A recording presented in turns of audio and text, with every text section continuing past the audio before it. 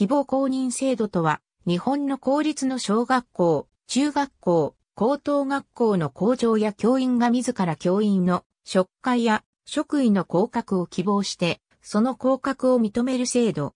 また、地方自治体の役所の職員には希望降格制度があり、同様な職位の降格を認める制度がある。2000年度から地方自治体の教育委員会によって実施される制度。公立小学校から高等学校において、校長を筆頭にそれぞれ教員の職会において職務を担っている。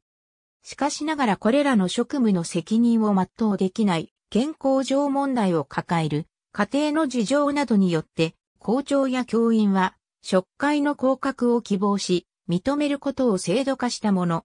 公認として校長から教頭へ、校長から教諭へ、教頭から教諭へ、武士寺から教諭へなど職会1段階や2段階の例がある。職務の中には様々な教育問題と言われることへの対処も含まれる。いくつかの自治体は役所の職員の希望降格制度を教員の場合と同じような理由によって降格を認めることを教員の希望公認制度に2から3年遅れて採用、実施している。